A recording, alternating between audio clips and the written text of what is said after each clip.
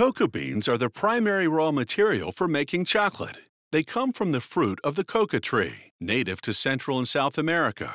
The ancient Mayans would grind them up to make a special beverage for marriage ceremonies and other rituals. Today, cacao is cultivated in the rainforest areas of many countries in the tropics. These cocoa beans from Costa Rica were cultivated without the use of chemical fertilizers, pesticides, or fungicides. Farming cacao organically requires meticulous care and maintenance of the crop, along with grafting techniques to help establish disease-tolerant tree varieties. The farmer cuts a budwood, a young branch about to bud, from a healthy, productive tree, and grafts it onto a sucker growing from the base of a tree, which is either diseased or old and unproductive. She cuts a slot at the top of the sucker, then wraps a plastic strip around the budwood to hold in moisture until the graft takes. Next, she cuts a pointed end on the budwood and inserts it into the slot she made in the sucker. Then she binds the union and covers it with a plastic bag. Bagging protects the graft against two potential extremes, dehydration and excessive rain, which causes rot or fungus. If the graft takes, the union seals itself in a month or even sooner. Strategic pruning strengthens the tree and keeps it growing low and in a shape that's easy to maintain and harvest. Before long, flowers begin to bud and bloom. Tiny beetles pollinate the flowers, after which tiny pods, the tree's fruit, begin to emerge. The pods grow and grow, and gradually change color. When the color transformation is complete, they're ripe for harvest. There are many varieties of cacao trees, with pods of different colors. It generally takes about five months from first blooms to pod maturity. Come harvest time, they collect only the pods which are undoubtedly ready. If a pod isn't fully ripened, the cocoa beans inside will be acidic and bitter. They carefully cut the pod stem off the branch without damaging the tree in the process.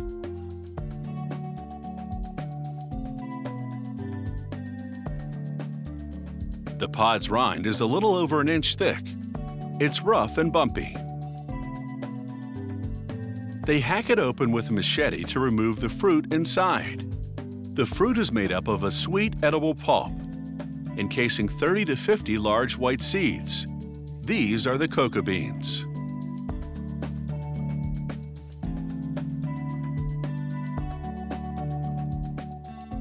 The beans and pulp go to the fermentation area, where workers lay them in boxes or heaps and cover them for four to six days. As heat under the cover builds up, fermentation kicks in. The natural sugars interact with oxygen. The pulp slowly breaks down, liquefies, and drains away. The color and chemical composition of the beans change, and they become less acidic and develop a chocolatey taste. The next step is to dry the beans. Workers spread them out on big trays and lay them out in the sun for about a week.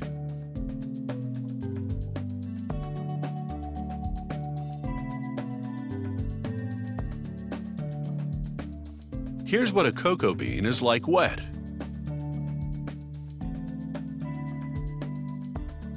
Versus dried.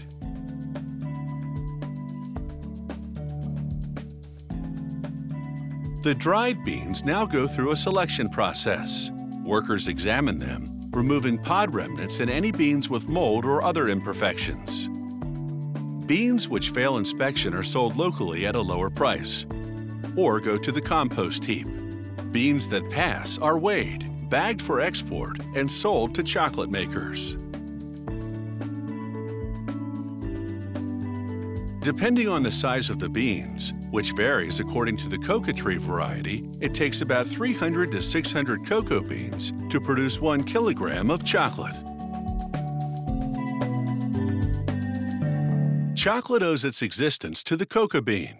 The ancient civilizations of Mexico and Central and South America cultivated this seed to make a drink. The Spanish conquest brought this chocolate drink to Europe, but it wasn't until 1847 that a British company invented solid chocolate. This factory makes chocolate in various forms and sells it to companies which manufacture chocolate products for retail sale. It also supplies chocolate components such as cocoa powder and cocoa butter.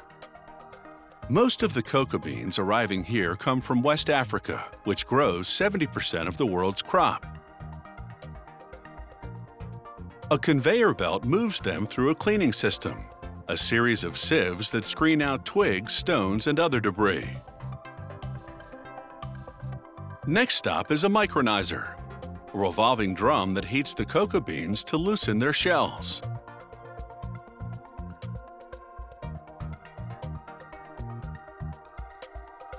Then they enter a shell removing machine called a winnower.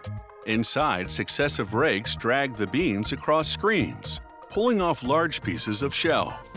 Then, a vacuum sucks away the remaining smaller pieces. Removing the shell exposes the inside of the cocoa bean, which is called the nib. The factory will roast the nibs to develop their flavor. 50 plus percent of the nib is fat, which is cocoa butter. To make chocolate, they'll combine processed nibs, cocoa butter, and sugar, along with milk powder if they're making milk chocolate. First, the factory processes the nibs by grinding them. The heat and friction activate the cocoa butter, producing pure liquid chocolate called chocolate liquor.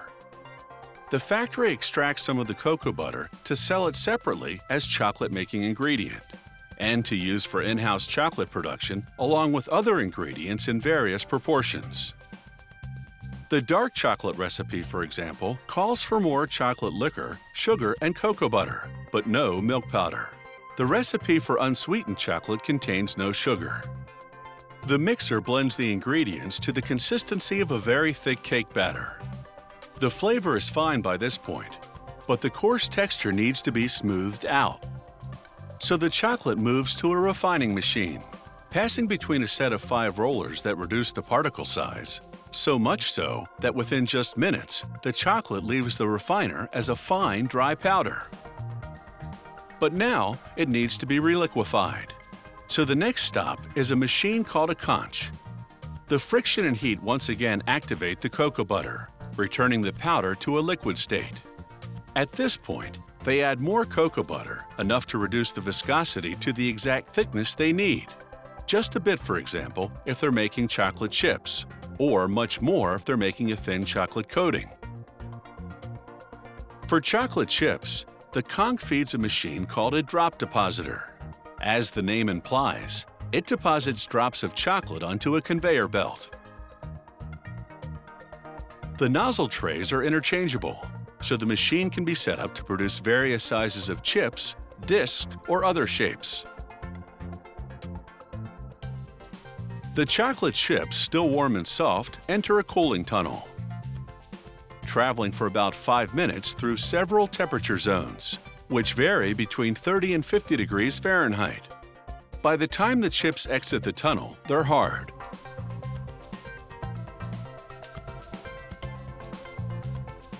A conveyor belt then takes them through a metal detector, a standard food safety precaution. The factory also produces 10-pound bulk format chocolate bars.